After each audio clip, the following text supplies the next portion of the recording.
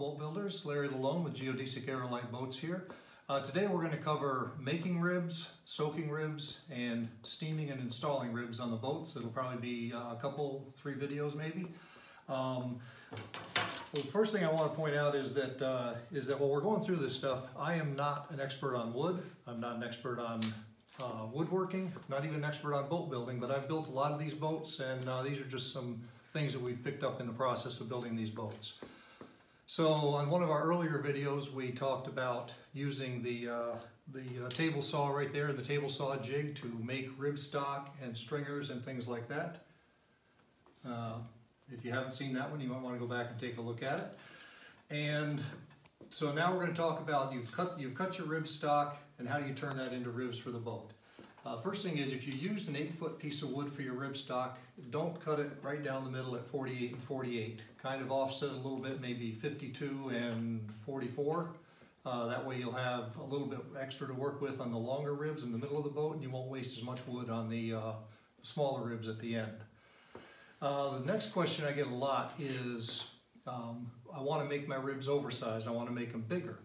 Um, the ribs that you have the design on your plans for your ribs are the right size for your boat. They, uh, they are designed to work in conjunction with the Kevlar, the stringers, and the Dacron to make a four-piece hull that's going to be very strong and work very well for you. Um, you can make them a little bigger if you'd like. My advice would be if you're going to make the ribs bigger, make them wider. Don't make them thicker. They'll just be much harder to bend. The thicker you make them, the harder they are to bend. If you want to make them a little bigger, make them wider but no thicker.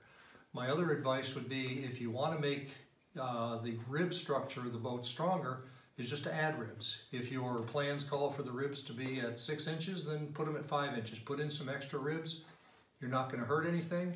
It's going to actually help the stringers because the distance between the ribs is going to be less, which means the stringer is going to be proportionately stronger by doing that.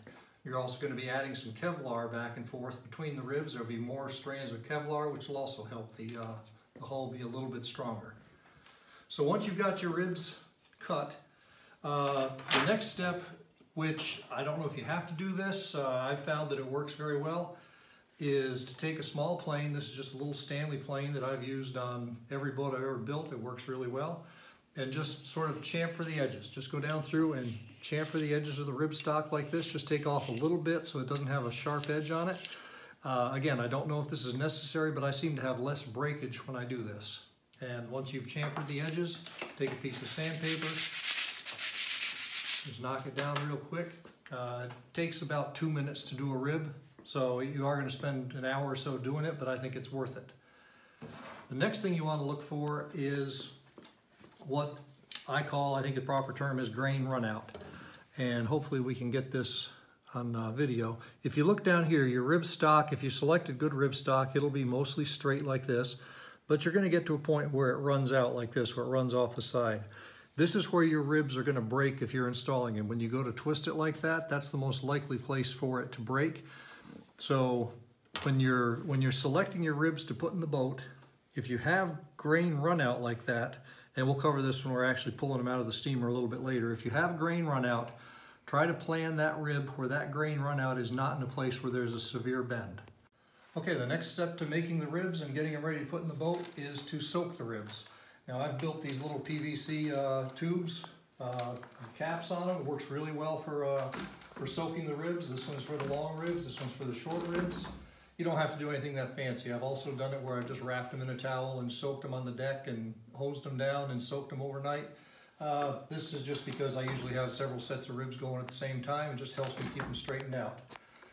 And soak the ribs at least overnight. Uh, if you're using green wood that's very freshly cut, you probably won't have to. But these, uh, these are soaking overnight. I've already drained the water out so we won't have a mess. And you can see they're just soaked and ready to go. This is red oak. And so that's it for getting the ribs ready. Uh, now we're going to talk about steaming the ribs.